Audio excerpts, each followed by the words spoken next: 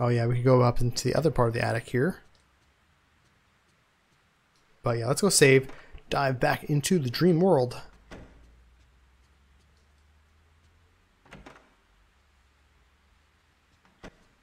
Oh. Hello? Hello? What the fuck is in here?